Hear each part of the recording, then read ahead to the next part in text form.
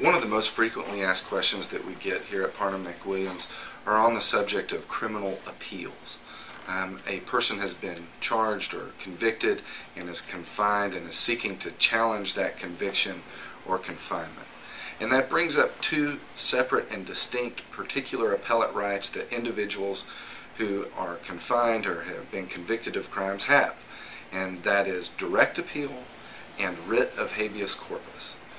Direct appeal is the thing that I think people are most familiar with.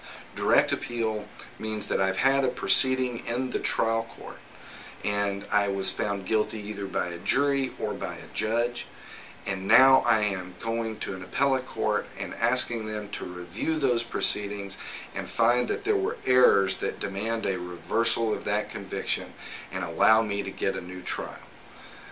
That type of appeal, direct appeal, is limited to the record on appeal. We can't go outside of the record as it exists at the close of the proceedings in the trial court.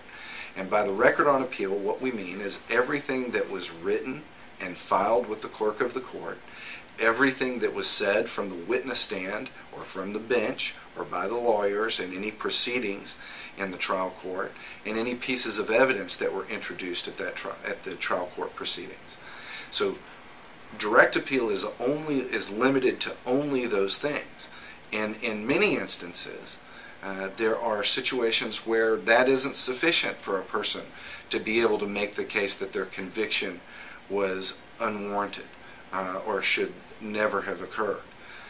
In many cases, such as if there is new evidence in the case, if a witness has recanted, if you have new witnesses or new scientific or forensic evidence such as DNA, or perhaps you had ineffective assistance of counsel, if your lawyer had performed inadequately in your first proceedings.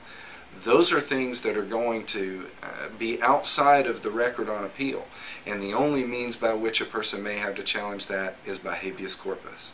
Now, habeas corpus is one of the oldest traditions that we have. It's borrowed over from English common law, and it, it along with direct appeal, comes with its own rather tedious procedures, deadlines, and legal uh, maneuvering.